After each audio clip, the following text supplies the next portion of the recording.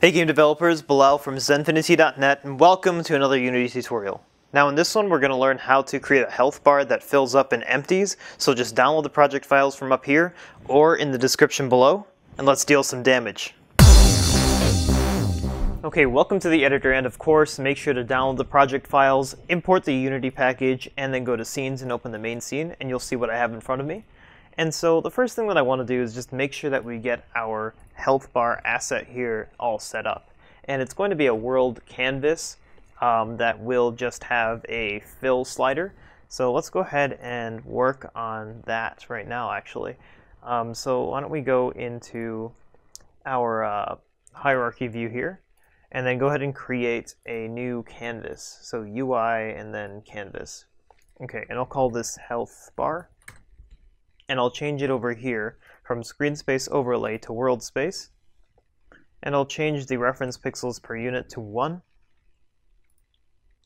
Now in our health bar, what we have to do is, well actually let's find where it is first. And I'll set all of its uh, transform properties here. So why don't we go ahead and set its width to 4.42 and its height to 1.03. Now these values are more exact than, um, than necessary, but for the purpose of this video, I'm going to be using these predefined values. So now, actually for the position, I'm going to go ahead and set um, the X and Z to the same thing as our enemy here. So actually to do that, I'll just set the health bar as a child of the enemy, and then I'll hit 0 on X and Z, and then I'll just pull it off of the enemy there. Okay, and so now I'll just set its Y position to 3.51 and hit enter. Okay, perfect.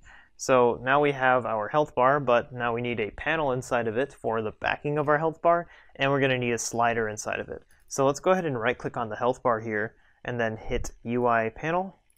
And then in here, let's go ahead and I'll set this coloring to black. And now I'll right click on this health bar panel here after renaming it to health bar backing. Okay, and now we'll right click on this um, and we'll hit UI and we'll hit slider. And don't freak out because we'll get a giant slider here. Um, and what we're going to do is just go ahead and set um, the rect transform so that it doesn't look as intimidating here. So I'm going to click on this anchoring position to a stretch on every side. And I'll go ahead and set our left to 0.205, our top to 0, our right to 0.205, and our bottom to 0 as well. Okay, now we still have a mess, so what we're going to do is go ahead and get rid of our handle slide area because we do not need the handle. And we can go ahead and get rid of this background as well. And we just need the fill and the fill area and the slider. So let's go ahead and check out what's going on here. This uh, X means that it is going in a negative position, so I'll slide from the left all the way to the right here. And let's go ahead and put this inside of our backing. Okay. All right, and now for our slider, let's ensure that this is the correct size, and I'll leave it how it is. And for the fill area, let's go ahead and set this to a stretch, and I'll go ahead and set everything to zero so that it matches exactly the fill area we have here. Okay, perfect. So now our health bar doesn't look as weird and it actually looks more like a health bar. What I'll do next is go ahead and set the color in here. So fill, color, and I'll set it to, you know, some sort of bright red here as a health bar normally would be. And my apologies for that. Um, so let's go ahead and rename all of these just so that we can be sure of what everything is here. So let's set this to our health slider and then we'll set the fill area to be our health fill area. And the fill will of course just be our health fill. So let me go ahead and rename it here. Unity's not agreeing with me. Okay so perfect. Now we have our health bar. And for the sake of it why don't we go ahead and just drag this to be a prefab so that we can keep it for later? Okay uh, so let's go ahead and drag our value back up to 1 on the slider as it automatically went to 0 and the next thing that we want to do is go ahead and write our script for the enemy's health. Now, this scene already allows us to fire bullets. It's from a previous tutorial. And what will happen is when we hit the enemy, it will print hit enemy. Now, we don't want it to print, we want it to actually affect what's going on in the health bar here. And, oh, we can slide this.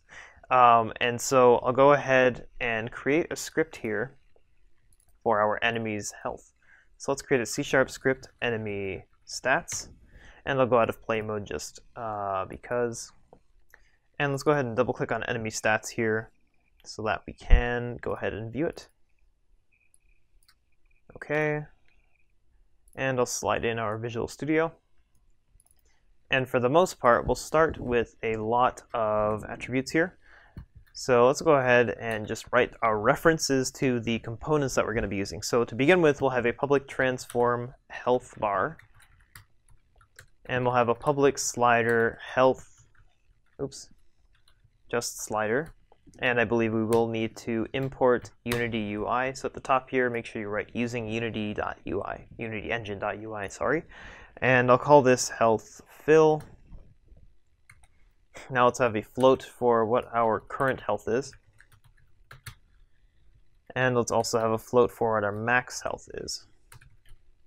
And our last attribute here is the offset for our health bar on the y-axis. And this is just for visual purposes, so it will be the enemy's position plus 2 on the y-axis. Okay, so now we do not need the start function anymore, uh, and we just need a function to allow us to change the player's health and a function to allow us to position the health bar. So let's start with that change health function here. So public void change health int amount, oops, amount, okay. And in here, we're just going to have, we're going to add to the current health um, by this amount. So let's do current health plus equals amount. And if amount is negative, of course, it will just add on a negative number, thus subtracting it. So if we want to deal damage, we can just pass in a negative value to this function. Okay, so current health equals mathf.clamp. And what we're doing here is ensuring that the health can never go under zero and it can never go over the max health. So let's go ahead and type current health zero, oops, zero, and max health. Okay, and then at the bottom here we'll do health fill dot value equals current health divided by max health. And that's because we want to get a value between 0 and 1 that will turn into a uh, a percentage, basically, of what our max health currently is. Okay, so now that we have our change health function set up here, uh, oh, and sorry to explain uh, this dot value here, this is of course our slider. Um, that will be the total percentage, like I just said, um, of the slider as well. So we'll see the slider be moving based on uh, whenever we change our health.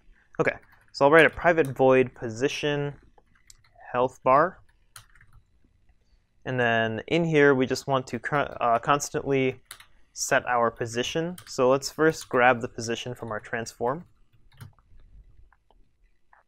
Okay. And now the health bar dot position is going to equal new vector 3.